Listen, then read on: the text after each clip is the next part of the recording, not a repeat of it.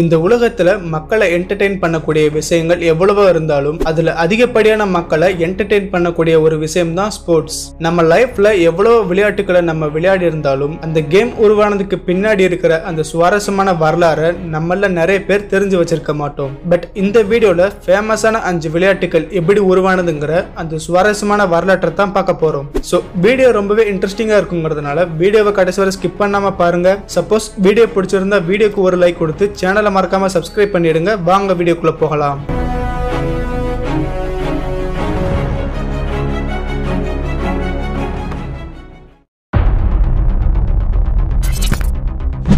இந்த உலகத்தோட மிகவும் பழமையான விளையாட்டுகள்ல ஒன்று தான் இந்த செஸ். கிபி ஆறாம் நூற்றாண்டு. குப்தர்கள் இந்தியாவை ரூல் பண்ணிட்டு இருந்த காலம். இந்த பீரியட்ல தான் குப்த வம்சத்தை சேர்ந்த இளவரசன் ஒரு போர்ல கொல்லப்படுறாரு. பட் அவர் யார் அவரோட பேர் என்னங்கிற டீட்டெயில் எதுவும் நமக்கு சரியா கிடைக்கல. பட் போர்ல இறந்து போன அந்த இளவரசனோட சகோதரன் தன்னோட அண்ணன் எப்படி போர்ல கொல்லப்பட்டாருங்கிறத தன்னோட அம்மாக்கு எக்ஸ்பிளைன் பண்ண நினைக்கிறாரு. இதனால அவர் ஒரு போர்டு ஒன்றை உருவாக்கி அதுல நிறைய காய்களை யூஸ் பண்ணி அந்த போர் நடந்த மெத்தடையும் அந்த போர்ல தன்னோட அண்ணன் எப்படி கொல்லப்பட்டாருங்கிறதையும் தான் உருவாக்கின போர்ட் மூலமா தன்னோட அம்மாவுக்கு விவரிக்கிறாரு. பட் இந்த மெத்தட் தான் நாளடைவில் ஒரு கேமா மாற்றப்பட்டு இந்தியா முழுக்க பரவ ஆரம்பிக்குது. இப்படி இந்தியா முழுக்க பரவன அந்த கேமோட பேர் சதுரங்கா.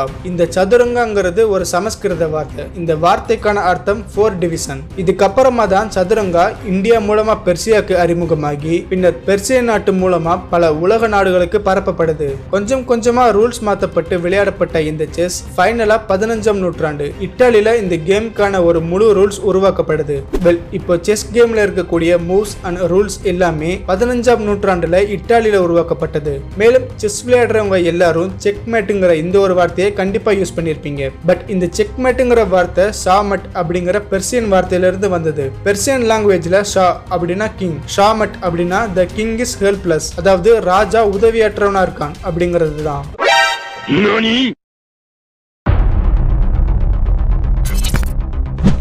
இந்தியாவோட நேஷனல் கேம் எதுன்னு கேட்டா ஹாக்கியா இல்ல கிரிக்கெட்டான்னு கன்ஃபியூஸ் ஆகிற நிறைய பேர் இந்தியால இருக்கத்தான் செய்கிறாங்க அந்த அளவுக்கு கிரிக்கெட்டோட தாக்கம் இந்தியால அதிகமாகவே இருக்குன்னு சொல்லலாம். ஸோ இப்படிப்பட்ட ஒரு கிரிக்கெட் இங்கிலாந்துல தான் கண்டுபிடிக்கப்பட்டதுன்னு நம்ம எல்லாருக்கும் தெரியும். பட் யாரால இந்த கேம் உருவாக்கப்பட்டதுன்னு ஒரு கிளியரான தகவல் எதையும் நம்மளால கண்டுபிடிக்க முடியல.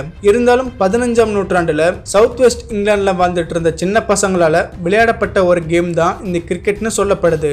ஸோ இந்த ஆரம்ப கால கிரிக்கெட்ல பேட்டுக்கு பதிலாக மரக்கட்டைகளையும் ஸ்டெம்ஸுக்கு பதிலாக மரக்கிளைகள் மற்றும் செம்மறி ஆட்டோட ரோமங்களை உருண்டையா செஞ்சு தான் பாலா யூஸ் பண்ணியிருக்காங்க ஸோ கிரிக்கெட்டுங்கிற இந்த பேருக்கான மீனிங் டச் மொழியில கிரிக் அப்படின்னா தமிழ்ல குச்சி அப்படின்னும் கிரிக்கெட்டுங்கிற வார்த்தைக்கு குச்சியை கொண்டு துரத்துதல் அப்படிங்கிற அர்த்தமும் இருக்கு. பட் இங்கிலாந்துல உருவான ஒரு கேமுக்கு டச் மொழியில பெயர் வர காரணம் பதினஞ்சாம் நூற்றாண்டுல சவுத் வெஸ்ட் இங்கிலாந்து டச் நாட்டோட வணிக தொடர்புல இருந்தது. ஸோ இதனால தான் இங்கிலாந்துல உருவான ஒரு கேமுக்கு டச் மொழியில பெயர் வைக்க காரணம்னு சொல்லப்படுது. வெறும் சின்ன பசங்க மட்டுமே விளையாடிட்டு இருந்த இந்த கிரிக்கெட் பதினேழாம் நூற்றாண்டுக்கு அப்புறமா பெரியவர்கள் உட்பட அனைவரும் விளையாடும் விளையாட்டா உருவானது. மேலும் பிரிட்டிஷோட காலனிகள் பல உலக நாடுகள்ல அமைஞ்சதால இந்த கிரிக்கெட் கேம் அந்த நாடுகளுக்கெல்லாம் பரவி இன்னைக்கு பல கோடி மக்களை என்டர்டெயின் பண்ணிட்டு இருக்கு.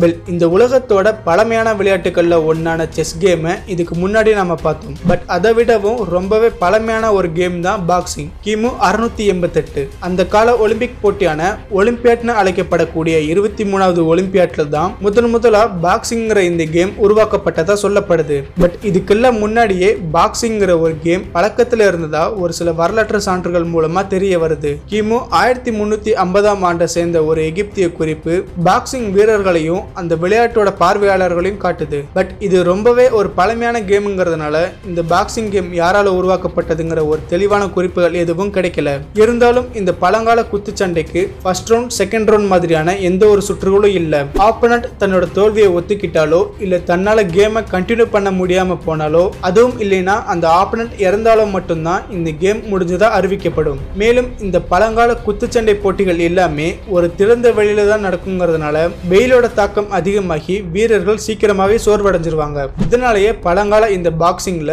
ஆப்பனண்ட்டை டைட்டா பிடிச்சி சண்டை போடுற மாதிரியான மூவ்ஸ் தடை பண்ணப்பட்டதா அந்த பழங்கால குறிப்புகள் மூலம் தெரிய வருது. ஸோ படிப்படியா பல மாற்றங்கள் மற்றும் நிபந்தனைகள் விதிக்கப்பட்ட இந்த பாக்ஸிங் ஆயிரக்கணக்கான ஆண்டுகள் கடந்து இன்னமும் பல கோடிக்கணக்கான மக்களை என்டர்டெயின் பண்ணிட்டு இருக்கு.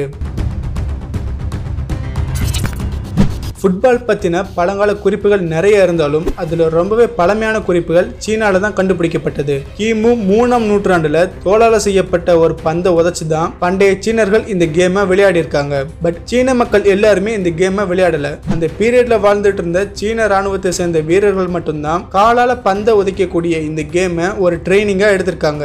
மேலும் இந்த கேமுக்கு அவங்க வச்ச பேர் சூஜு. இந்த சூஜு கேம் தான் நாளடைவில் மற்ற நாடுகளுக்கும் பரவ ஆரம்பிச்சது. இதுக்கப்புறமா தான் கிபி பதிமூணாம் நூற்றாண்டுல இங்கிலாந்துல இந்த கேம் அதிகமாக விளையாடப்படுது. பட் இதுல ஒரு சின்ன சேஞ்ச் என்னன்னா இந்த இங்கிலாந்து மக்கள் எல்லாம் தோலால செய்யப்பட்ட பந்துகளுக்கு பதிலா பன்றிகளோட சிறுநீர் பைகளை தான் ஃபுட்பாலா யூஸ் பண்ணிருக்காங்க மேலும் கேமோட விதிமுறைகள் ரொம்பவே கரடுமுரடா இருந்ததுன்னு சொல்லலாம். காரணம் இந்த கேம்ல டீமுங்கிற ஒன்னே கிடையாது. பன்றியோட சிறுநீர் பைய ஊரோட ஒரு முனையில இருந்து இன்னொரு முனைக்கு உதைச்சுக்கிட்டே போகணும். சான்ஸ் கிடைச்சா உங்க கூட இருக்கிற யாரை வேணாலும் நீங்க உதைக்கலாம். ஸோ இந்த மாதிரியான விதிமுறைகளால மக்கள் ஒருத்தர் ஒருத்தர் அடிச்சுக்கிட்டு ஊருக்குள்ள நிறைய கலவரங்கள் ஏற்பட ஆரம்பிச்சது. இதன் காரணமா ஆயிரத்தி முன்னூத்தி நாற்பத்தி ஒன்பதுல இங்கிலாந்து அரசரான செகண்ட் எட்வர்டும் அவருக்கு அப்புறம் அரசரான அவரோட மகன் தேர்ட் எட்வர்டும் இந்த கேமுக்கு தடை விதிக்கிறாங்க. இருந்தாலும் இந்த கேம் மக்களால் தொடர்ந்து விளையாடப்பட்டதோட அண்டை நாடுகள்லயும் இந்த கேம் பரவ ஆரம்பிச்சது. கிட்டத்தட்ட அஞ்சு நூற்றாண்டுகளா தடை விதிக்கப்பட்ட இந்த கேம் ஃபைனலா கிபி ஆயிரத்தி எட்நூத்தி நாற்பத்தெட்டு கேம்பிரிட்ஜ் யூனிவர்சிட்டியை சேர்ந்த பல அதிகாரிகள் ஒன்று சேர்ந்து ஃபுட்பாலுக்கு இருந்த பழைய ஹார்ஸான விதிமுறைகளை மாற்றி புது ரூல்ஸை கொண்டு வந்தாங்க. கிட்டத்தட்ட அஞ்சு நூற்றாண்டுகளா தடை விதிக்கப்பட்ட ஒரு கேம் தான் இப்போ உலகத்திலேயே அதிக நபர்களால் பார்க்கப்பட்ட ஒரு கேமாக மாறி இருக்கு கிமு நானூத்தி தொண்ணூறு. பெர்சிய ராணுவம் கிரேக்க நாட்டை கைப்பற்றுவதற்காக கிரேக்கத்தை நோக்கி வந்துட்டு இருக்காங்க. ஸோ தங்களால தனியா பெர்சிய வீரர்களை வீழ்த்த முடியாதுன்னு நினைக்கிற கிரேக்கர்கள் ஸ்பாட்டன்ஸ் கிட்ட உதவி கேட்க நினைக்கிறாங்க. இதனால பெய்டு பெட்ஸ்னு அழைக்கப்படக்கூடிய ஒரு கிரேக்க தூதன் ஸ்பாட்டன்ஸ் கிட்ட உதவி கேட்கறதுக்காக அனுப்பப்படுறாரு.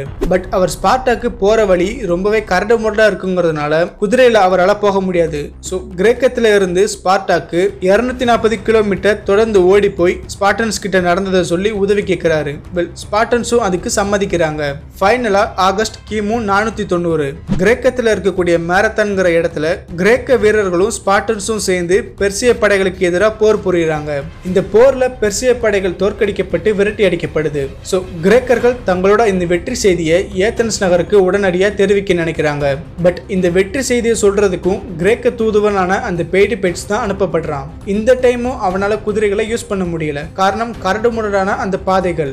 ஸோ மேரத்தான்ல இருந்து ஏத்தன்ஸுக்கு இடையில இருக்கக்கூடிய அந்த நாற்பத்தி ரெண்டு கிலோமீட்டர் டிஸ்டன்ஸை பெய்டி பைட்ஸ் எங்கேயுமே நிற்காம தொடர்ந்து ஓடிக்கிட்டே இருக்கான். காரணம் இந்த வெற்றி செய்தியை உடனடியாக தெரிவிக்கணும்னு சொல்லி அவனுக்கு கட்டளையிடப்பட்டிருக்கு. ஸோ இதனால பெய்டி பைட்ஸ் என்ன பண்றான்னா தன்னோட வேகம் குறையக்கூடாதுங்கிறதுக்காக தன்னோட ஆயுதங்கள் மற்றும் ஆடைகளை தூக்கி எறிஞ்சிட்டு ஒரு நியூடான கண்டிஷன்ல தான் தொடர்ந்து ஏத்தன்ஸை நோக்கி ஓடுறான். கடைசியா ஏத்தன்ஸ் நகரத்தை அடைஞ்சதும் நாங்கள் வென்று விட்டோம்னு சத்தமா சொல்லி ரெஸ்ட் இல்லாம ஓடி வந்த டயர்ட்ல இந்த மாவீரன் அங்கேயே சுருண்டு விழுந்து இறந்து போயிடுறான்.